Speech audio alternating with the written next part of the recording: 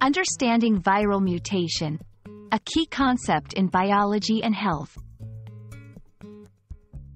Hello, everyone. Today, we're going to dive into an intriguing and highly relevant topic in the world of biology and health. Viral mutation. Whether you're learning English or simply curious about science, this video will help you understand what viral mutation means, why it's important, and how it impacts our world. So, let's get started. Before we delve into viral mutation, it's crucial to understand what a virus is. Viruses are tiny infectious agents that can only replicate inside the living cells of an organism. They are made up of genetic material, either DNA or RNA, encased in a protein coat. Viruses can infect all types of life forms, from animals and plants to microorganisms. Now, let's talk about viral mutation. Mutation refers to any change in the genetic material of an organism. In viruses, these changes occur in their DNA or RNA. Mutations can happen due to various reasons, such as errors during replication or exposure to certain chemicals or radiation. Viruses mutate for several reasons.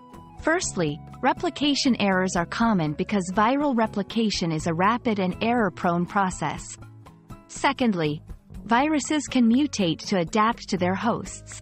By changing their genetic makeup, they can evade the host's immune system, ensuring their survival and continued replication. Viral mutations can be classified into two main types. 1. Minor mutations, which involve small changes in the genetic code and often have minimal impact.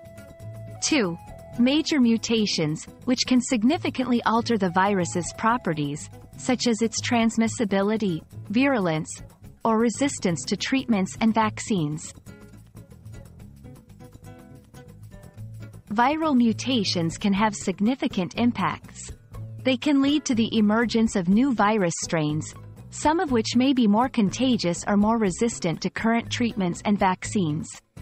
This is why scientists continuously monitor viral mutations, especially for viruses that cause widespread diseases like the flu or COVID-19.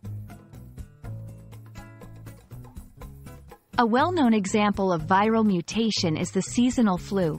The flu virus mutates rapidly, which is why a new flu vaccine is needed every year. Another example is the COVID-19 pandemic, where several variants of the virus emerged due to mutations, affecting the global response to the disease. I hope this video has given you a clear understanding of viral mutation and its significance in biology and health. Remember, Viral mutations are a natural part of virus evolution and play a key role in how we approach disease prevention and treatment. Thank you for watching, and stay curious about the wonders of science.